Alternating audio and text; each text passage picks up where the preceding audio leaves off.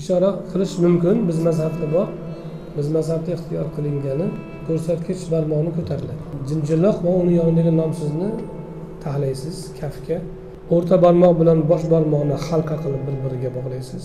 Keyin ko'rsatkich bilan ishora qilib ko'tarasiz. Ko'rsatkichni ko'tarib ishora qilasiz. Nimaga ishora qilasiz? Tavhidga ishora qilasiz. La ilaha illallohga. La deganda ko'tariladi. Illallohda tushiriladi. Ashhadu an la ilaha deganda lani ko'tarasiz. Illallohni tushirasiz ba'zi ulamolar illallohni ko'taradi ba'zi mazhablar shunday. Lekin bizda lada ko'tarib illallohni tushirishni tavsiya qilishgan shuni qabul qilishgan o'zi bir necha turlari bor. Bizda shu turi qabul qilingan sunnatda. Chunki la ilaha illalloh nima? Nafiy va isbot. Hech qanday iloh yo'q yagona olloh degan. Bu ishora aslida mana kishi qalbida yolg'iz olloh bor degan e'tiqod bor. Til bilan aytib uni ta'kidlaydi. Shuni a'zosi bilan ishora qilib ham ta'kidlash uchun qo'yilgan. Qalbdagi iymonni tavhidni ta'kidlash uchun qo'yilgan ibodat asnosida namoz asnosida.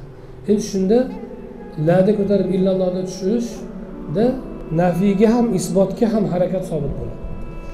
Shuning uchun shuni tanlashgan allohu alam. Ba'zilar o'sha kaftni yozib turgan holatda bosh ko'rsatkich barmoqni o'zini ko'tarib qaytib qo'yishni ham joiz deyishgan.